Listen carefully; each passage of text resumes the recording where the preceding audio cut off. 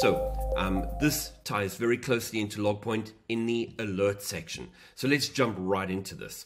We're going to go and click on our little configuration down to knowledge base. Once we're inside our knowledge base window, we have alert rules. Alert rules are basically how Logpoint, how Logpoint generates incidents and alerts together.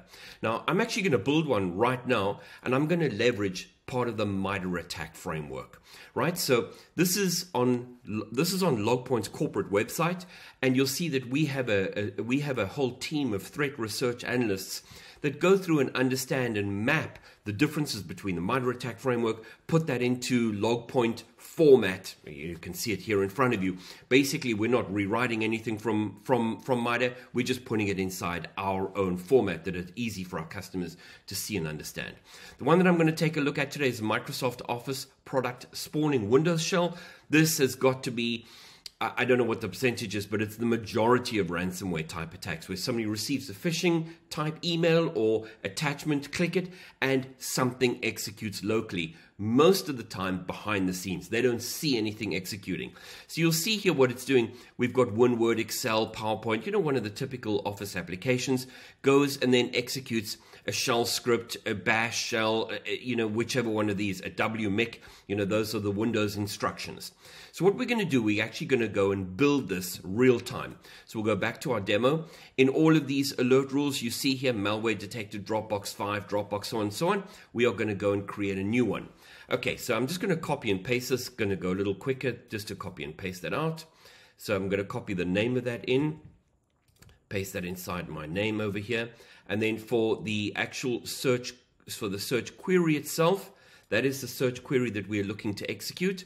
So come and I'll put that in my search query over here.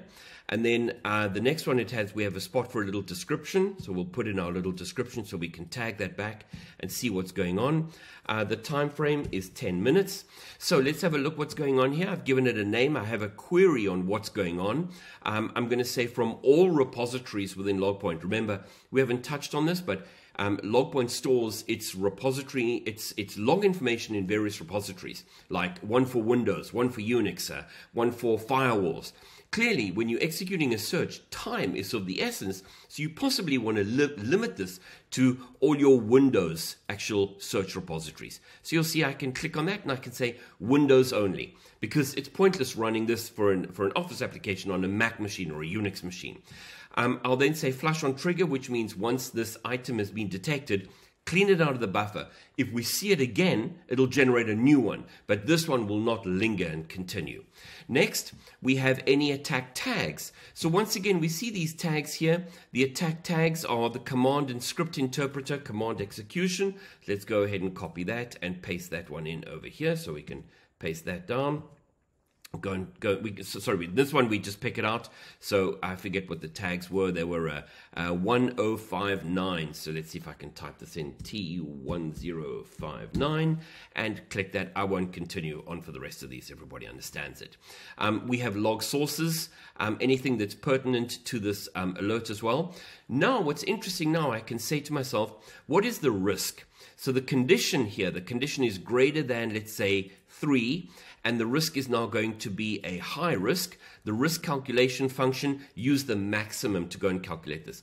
All of this, by the way, is very well detailed, all self-explanatory in the Logpoint documentation. Next, who's this assigned to? I'd like to assign this to the NOC user, and it's going to be manageable by the SOC user. So the security operations guy can manage it, but it's assigned to the NOC user. and then you'll see a little later on, I'm going to show you how we present this data. We don't have to present a raw log event message that's a little complex to understand. We can use Jinja to go and rewrite this log to make it in a very easy, presentable manner for the user to go and actually graphically visualize this and they can understand that. So once that's done, we have our alert. The alert is now Now, the last thing would I like a notification? Do you want to be email alerted, SMS page, whatever the case is, from this alert? Because this will generate an incident, and the incident can then be alerted higher up as necessary. Thank you.